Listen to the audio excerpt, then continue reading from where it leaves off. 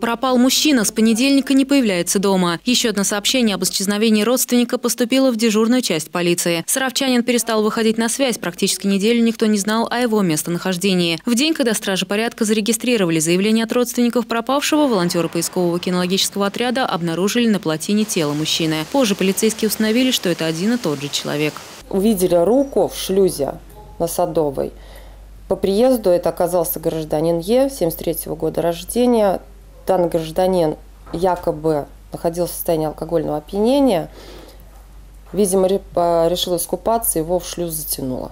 Полицейским предстоит выяснить обстоятельства смерти саровчанина. Печальных последствий удалось избежать другому жителю нашего города, который отдыхал в компании друзей в старом районе. Веселье сопровождалось распитием алкогольных напитков. Мужчина вышел на балкон подышать свежим воздухом, однако вернуться обратно в квартиру ему не удалось. О происшествии в полицию сообщили сотрудники КБ-50. Друзья решили над ним пошить, там закрыть. На что молодой человек не растерялся и решил выйти со второго этажа через балкон.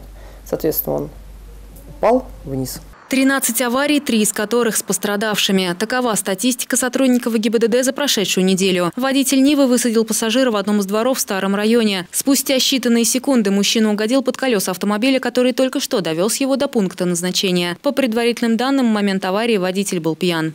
Когда мужчина выходил, он зацепился своей одежды э, то ли за замок, то ли за ручку. Вот. И мужчина, когда начал двигаться, он протащил за собой бывшего своего пассажира, в результате чего телесные повреждения были ему причинены. Сотрудники ГИБДД установили, что водитель Нивы попался пьяным за рулем второй раз. Теперь ему грозит наказание, предусмотренное статьей Уголовного кодекса.